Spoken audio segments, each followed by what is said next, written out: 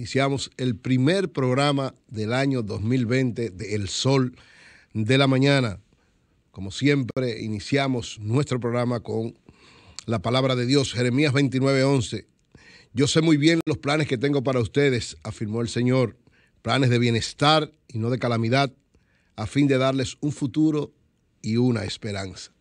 Con este mensaje saludamos a todos los dominicanas y dominicanos en este nuevo año, un año que tiene muchas cosas interesantes, muchas expectativas. Felicitaciones a nuestro equipo, felicitaciones a todo el personal de RCC Media, don Antonio y doña Monse, que han transformado la comunicación en la República Dominicana a través de todos estos medios, a todo el pueblo dominicano, a cada uno de los oyentes, a cada uno de los hombres y mujeres que nos dedican su tiempo para escuchar este programa para escuchar nuestros análisis, nuestras informaciones y el seguimiento que le damos a toda la vida cotidiana de la República Dominicana y del mundo.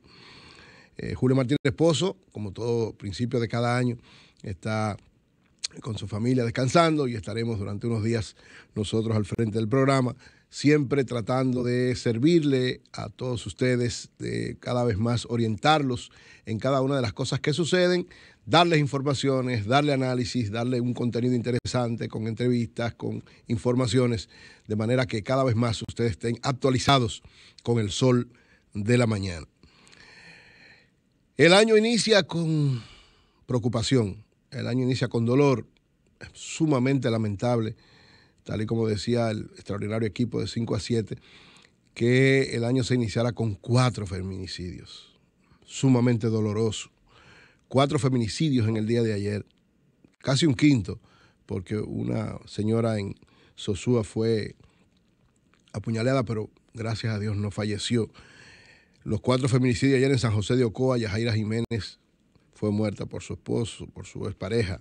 En Los Mameyes de Santo Domingo Este, una venezolana de nombre Nelson fue asesinada en Río San Juan Angelita Sánchez y en Puerto Plata Cleury de Olmo. Cuatro mujeres víctimas de esta ola de hombres que se creen dueños, propietarios de la vida de sus mujeres, que no entienden que una relación debe ser de amor, no de maltrato, debe ser de comprensión, no de abuso, debe ser de solidaridad, no de muerte. Una gran pena, un gran dolor para la República Dominicana en este año. Y a pesar, a pesar de estas cosas, debemos mantener la esperanza siempre, siempre elevada. El gobierno tiene un gran reto ante esto, un gran reto. Yo siempre digo que aunque la sociedad en sentido general todos tenemos nuestras responsabilidades, el gobierno tiene una gran responsabilidad frente a esto, para que la sociedad junto con el gobierno pueda enfrentar de la mejor manera este tipo de situaciones. Ya discutiremos, ya hablaremos de muchas cosas, pero yo siempre he dicho que lo fundamental es trabajar para tratar de evitar que sucedan estas cosas en términos de la actualidad, pero también en términos de perspectiva. ¿sí? Debemos seguir profundizando la efectividad de la policía, la efectividad de la justicia, la efectividad de todos los organismos que sirven de ayuda a las mujeres, pero también tenemos que trabajar con el fondo y la esencia de lo que provoca cada una de estas cosas, que es este sentimiento, este pensamiento de los hombres de creerse dueños de las mujeres, y eso hay que empezar a trabajarlo desde la niñez en las escuelas y en nuestras casas. Desde la niñez, en las escuelas y en nuestras casas, con acciones, actividades y campañas permanentes, no solamente cuando suceden estos casos o el 8 de marzo o el 25 de noviembre, sino una actividad permanente de preparación, de concientización de los hombres para que entiendan por qué no deben maltratar ni matar a sus mujeres. Eso debe empezar en el hogar temprano, seguir en la escuela de manera efectiva, en todas las instituciones públicas y privadas, en todos los centros de trabajo, en todos los centros del sector público y privado, donde se congreguen grandes cantidades de hombres y mujeres. Si no lo hacemos así, estaremos lamentando cada vez más esta situación. Pero miren, este hecho, que es sumamente doloroso, que nos afecta a todos de manera sumamente impactante.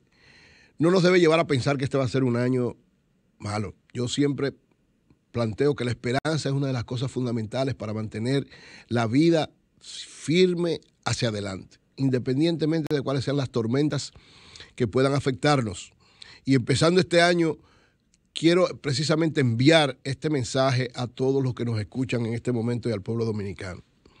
Como ustedes saben, yo pertenezco a una iglesia, la Iglesia Cristiana Palabras de Vida, que el pastor Rafi Paz es el pastor principal y la pastora María Isabel Palacios. Y nosotros todos los años recibimos el año en la iglesia y en, durante el transcurso del recibimiento del año, los principales líderes de la iglesia dan un mensaje a la congregación y al país para el inicio del año. Como nosotros somos parte del equipo directivo de la Iglesia Cristiana Palabras de Vida de hace unos años, siempre nos toca también dar un mensaje al inicio del año, tanto a mí como a todo el equipo, incluido mi esposa Sinaida, que juntos dirigimos el Ministerio de Matrimonios de la Iglesia Cristiana Palabras de Vida. Yo quiero ese mensaje que lo hice pensando no solamente en la congregación, sino en el país y en las expectativas que tiene este año, porque este año tiene una expectativa medio complicada, sobre todo por el panorama electoral, por estas muertes, estos feminicidios, por muchas situaciones. Es un año como que a mucha gente lo tiene en tensión, lo tiene en expectativa, lo tiene en temor, lo tiene en incertidumbre. Y yo me permito, con el permiso de todos ustedes, de ese breve mensaje que di en mi congregación Iglesia Cristiana Palabras de Vida el pasado 31, esperando el año nuevo, dárselo a la nación dominicana porque creo que tiene profunda validez, sobre todo en este momento de tanta incertidumbre y tanto temor. Yo decía que el año 2020 será un año de tranquilidad y de paz. Si asumimos el reto de intimar cada vez más con Jesús nuestro Señor, Él nos dice que alcanzaremos una tranquilidad y una paz, la cual sobrepasará todo entendimiento humano, como afirma el apóstol Pablo. El Señor me habló de tener una profunda y firme tranquilidad en este año que se inicia. Me dijo que llevar un mensaje de tranquilidad y de paz a toda la nación que estemos tranquilos y calmados, porque Él tiene control de todo. No importa lo que suceda, no importan las tormentas ni las amenazas de los que nunca creen en la esperanza. Que no nos preocupemos ante los grandes retos que nos esperan en este año. Que caminemos firmes y confiados en la paz y en el amor de Jesús. El Señor nos dice que todo transcurrirá bajo absoluto control y que Él decidirá todo para cada uno de nosotros y para nuestra nación que tantos retos tiene. En este nuevo año debemos aprendernos de memoria y llevar a la práctica todos los días el mensaje que da Jesús en Mateo 6:33 cuando afirma, busquemos primeramente el reino de Dios y su justicia, que todas las demás cosas vendrán por añadidura. Todas las demás cosas vendrán tranquilamente a cada uno de nosotros si buscamos y ponemos siempre a Dios y su justicia como el elemento central de todo lo que hagamos en este nuevo año 2020. Vamos a tener una gran paz interior y un gran sosiego si ponemos a Dios en el centro. Tendremos paz. Y no esa paz irreal que da el mundo, sino la verdadera paz que nos permite caminar sin temor ni preocupación. Una paz firme, segura, duradera, una paz que, como dice el apóstol Pablo en Filipenses 4:7, sobrepasa todo entendimiento humano y cuidará sus corazones y sus pensamientos en Cristo Jesús. Como congregación y como nación, como país, este año para todos nosotros será un año de compromiso, de trabajo, de dedicación y demostrar con nuestro ejemplo las transformaciones que son posibles y demostrarle el Evangelio a los demás con nuestras actuaciones cotidianas. Es un año para aumentar nuestra intimidad y nuestro compromiso con Jesús. Si todos asumimos nuestras tareas en el país, si cumplimos con nuestros compromisos, si nos mantenemos en intimidad con Jesús, este nuevo año 2020 será un año lleno de amor, de paz, de tranquilidad y de esperanza para todos nosotros. Feliz y próspero año 2020 para todo el pueblo dominicano y que Dios nos bendiga a todos por siempre.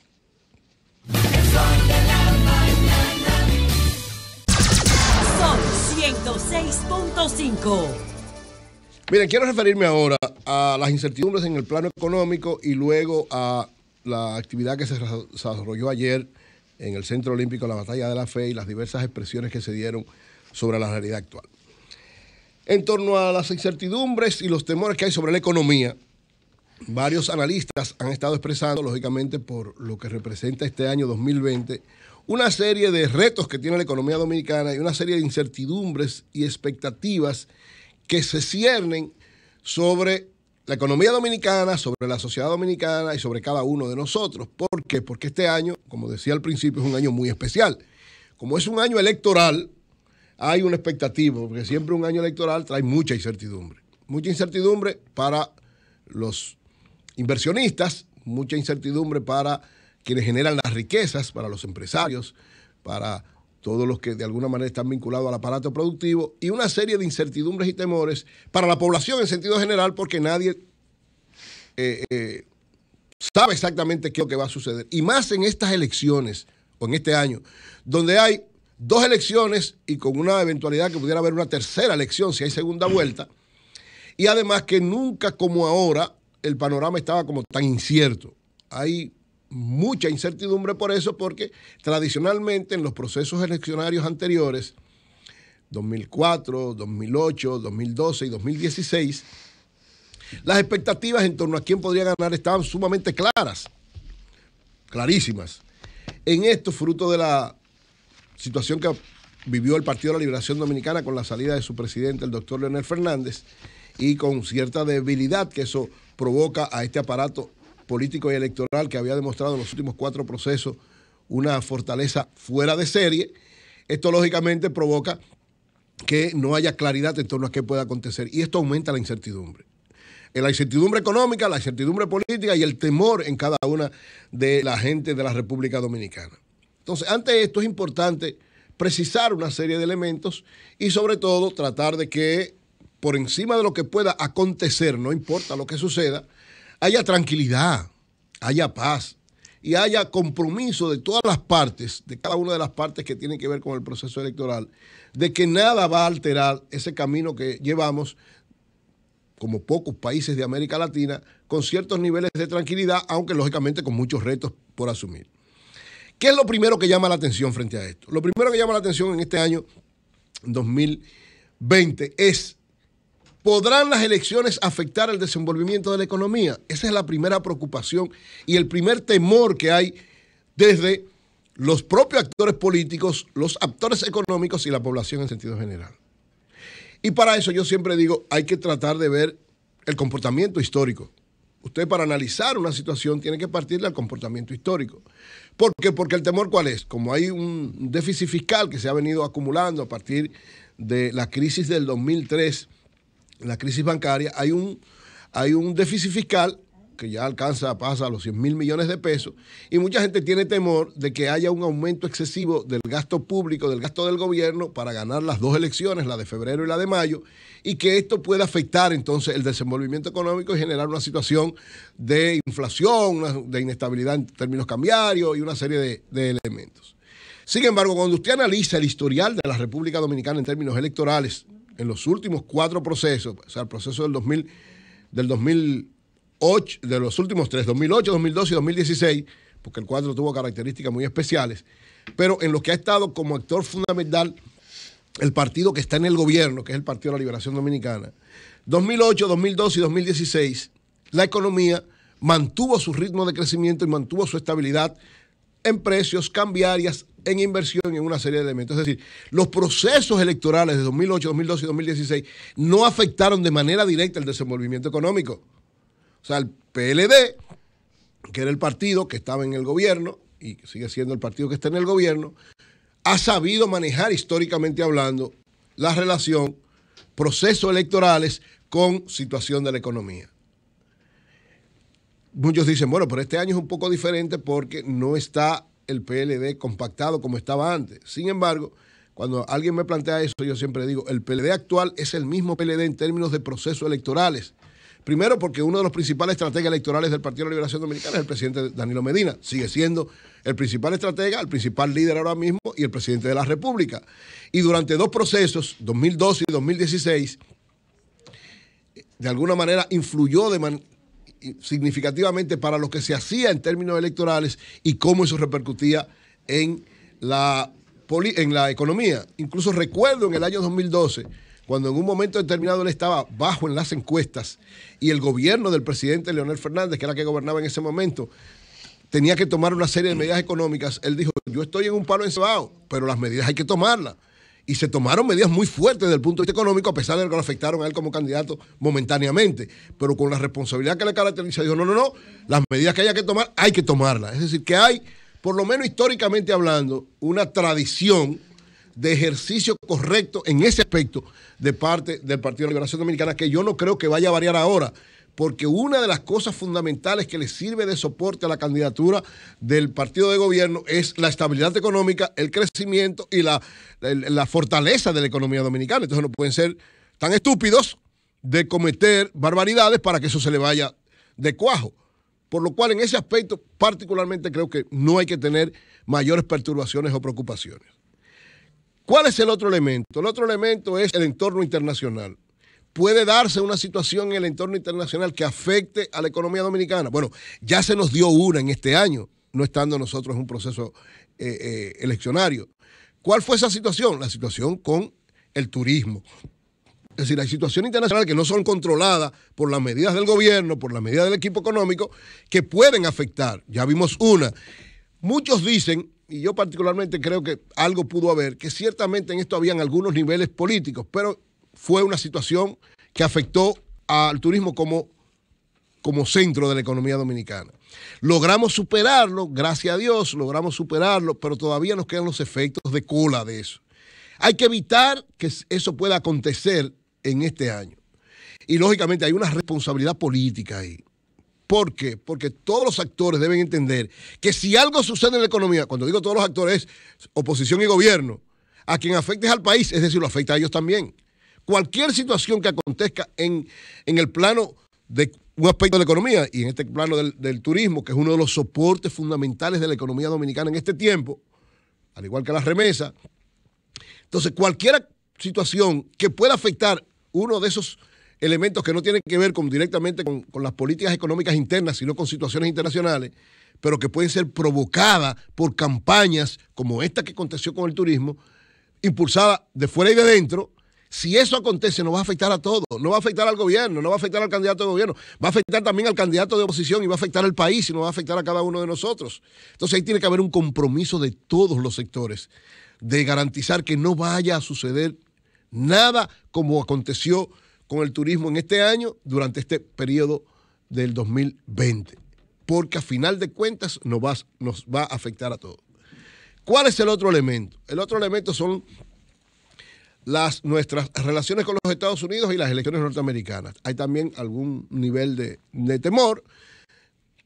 Todo apunta a que la fortaleza que tiene Donald Trump lo, va a llevar a una reelección. todavía el Partido Demócrata no muestra fortaleza para derrotarlo y lógicamente Donald Trump ha manejado, la economía le ha ayudado a manejarlo, eso le va a dar fortaleza y depende de cómo él maneje esa relación con nosotros. Hasta ahora, hasta ahora, los Estados Unidos se han manejado correctamente con nosotros en muchos aspectos y al parecer no va a haber ninguna variación en ese sentido, por lo cual cualquier preocupación en ese aspecto también eh, debe ser valorada con, con, objetividad y no creo que haya ninguna perturbación en términos de la relación con Estados Unidos, ni la relación con el gobierno norteamericano, ni las elecciones norteamericanas vayan a influir de manera directa en las nuestras. Es decir, va a seguir la misma situación, el mismo eh, relación nuestra con ellos. Hay un aspecto que muchos dicen que podría de alguna manera jugar un papel importante en términos económicos, que es la posición de los Estados Unidos frente a nuestra, relación con China. Sin embargo, yo siempre he dicho que nuestra relación con China es de alguna manera una especie de salida y, posición estratégica importante para el futuro de la economía dominicana. Para el presente nuestra relación tiene que seguir siendo fortalecida con los Estados Unidos. Y los propios Estados Unidos ya se están entendiendo con China. Tienen que entenderse, porque son las dos potencias más importantes donde prácticamente una necesita a la otra para seguir desarrollándose. Entonces no creo que ahí haya mayores eh, problemas. Y en ese sentido, tampoco creo que haya ninguna perturbación que tenga que ver con esto. Los Estados Unidos saben manejarse muy bien. Los Estados Unidos lo que tienen no tienen amigos, sino intereses, y saben que Estados, la República Dominicana representa para ellos algo importante en función de la relación comercial que hay entre nosotros. Y que esta salida nuestra hacia China para algunas situaciones es un problema de largo, de largo plazo, de mediano y largo plazo, no en términos inmediatos, por lo cual no creo que tampoco haya ninguna perturbación. El otro elemento es, que puede de alguna manera también eh, preocupar, es fruto de esta, digamos, inestabilidad política que pueda darse, yo particularmente creo que no va a haber inestabilidad, pero bueno, hay sectores que no creen en la Junta, hay sectores que están atacando la Junta, hay sectores que uno ve que lo que tienen es un deseo no de que les resuelvan las cosas, sino de cada vez complicar más para después justificar una derrota, que puedan después que crear una situación difícil en términos electorales, en términos políticos, que afecte entonces la economía y aumente esta incertidumbre. Ante eso, ¿qué es lo que pasa en este tipo de procesos? Que la inversión, sobre todo interna, la inversión interna en diferentes renglones, se frisa por el momento. No es que deja de hacerse, sino que baja sus niveles o, ante la expectativa se frisa un momento. Entonces, ¿qué es lo importante de esto? Yo creo que lo importante de esto es que los actores económicos, eh, políticos, sepan que no pueden afectar esa inversión interna. Que a un proceso electoral se va a perder o a ganar.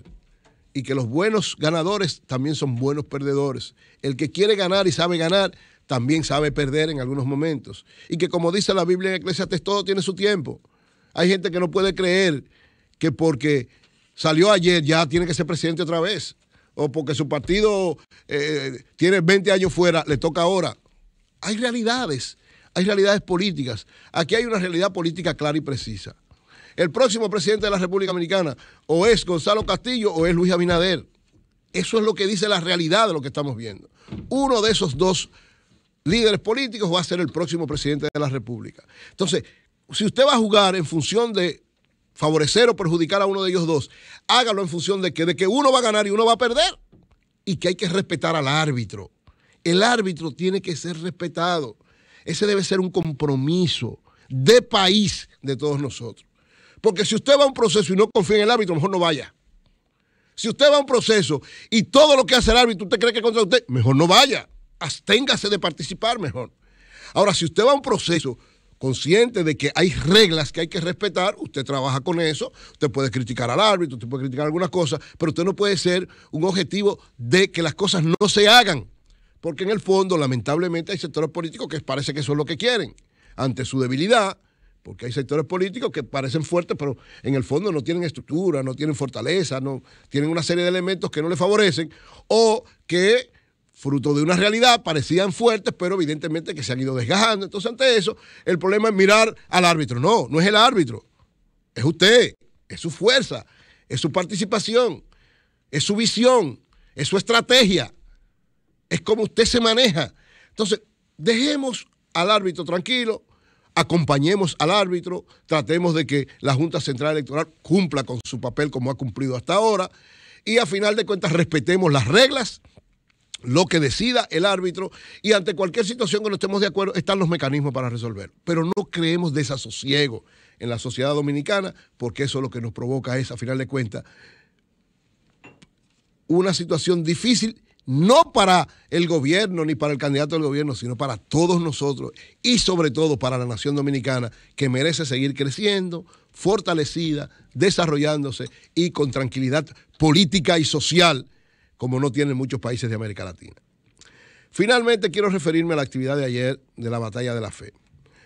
Fue un acto sumamente interesante, la 56 concentración de la Batalla de la Fe, los pastores Ezequiel Molina Sánchez y Ezequiel Molina Rosario, padre e hijo, que han demostrado una fortaleza extraordinaria en términos del, del pueblo cristiano, una actividad donde se alaba al Señor, donde se hacen una serie de cosas cada año, ya lo han convertido en una costumbre cada primero de enero.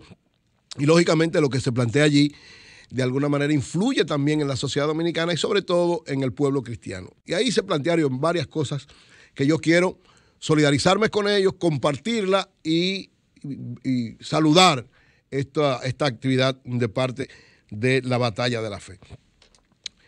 Algo interesante que se vio, que ojalá ¿verdad? fuera parte también de, hasta del liderazgo político, y es que ya se está viendo la renovación del liderazgo en lo que tiene que ver con la batalla de la fe. Ya el pastor Ezequiel Molina Sánchez, que es, ¿verdad?, el pastor principal, ya tiene una edad, ¿verdad?, que camina pronto a no tener todas esas responsabilidades, está pasando la, la corona a su hijo Ezequiel Molina Rosario, que lógicamente ha emergido como el líder joven de esta, este sector de, del pueblo cristiano. Y entonces ambos compartieron mensaje, ambos se combinaron para compartir un mensaje desde visiones un tanto parecidas, pero también con criterios muy particulares cada uno. En el caso de su hijo, Ezequiel Molina Sánchez, llamó a los dominicanos, dio varios mensajes. El primero a, a que se vote por gente que tenga valores. Yo comparto profundamente eso. Y sobre todo a gente que él decía, que no se vote por los que critican que la Biblia no sea leída en los centros educativos y además que apoyan las leyes abortistas. Yo comparto absoluta y totalmente este planteamiento de Ezequiel Molina Sánchez porque creo que el pueblo cristiano tiene que tener claridad en torno a una serie de cosas. Eso no quiere decir que se haga campaña negativa contra nadie ni nada de eso, sino que él llamaba reflexión, porque el pueblo cristiano necesita que en el Congreso haya gente que defiendan los criterios que nosotros tenemos. O sea, es nuestro derecho como actores políticos que somos, como ciudadanos que tenemos derechos políticos y por tanto, como tenemos influencia, y eso ha pasado en toda América Latina, que los sectores eh, cristianos evangélicos están influyendo y determinando una serie de situaciones, entonces hay que tener claridad. Para las elecciones congresionales, municipales y nacionales, como decía muy bien el, el pastor eh, Ezequiel Morina Sánchez, hay que votar para el Congreso, para los ayuntamientos y para el país por gente que tenga criterios claros de respeto a los valores cristianos, de estar en contra, en, contra del aborto, de respaldar que cada vez más valores cristianos lleguen a las escuelas y a las instituciones en la República Dominicana. Esa debe ser nuestra batalla en ese aspecto. Tratar de que cada vez más se cualifique en esa orientación el Congreso, los ayuntamientos y la presidencia de la República. Él decía también, y yo comparto totalmente eso, que no se debe votar por candidatos que son, que tienen mucho dinero y no lo pueden justificar. Eso también es correcto. O sea, hay gente que abusa de eso. Y es verdad que hay gente llena de corrupción en todos los niveles y en todos los partidos. Porque cuando se habla de corrupción se cree que nada más en el gobierno actual. No, en todos, en todo el sector político. Hay gente corrupta gente que no merece el voto de los cristianos. Yo estoy también totalmente de acuerdo ahí con Ezequiel Molina Sánchez en ese aspecto.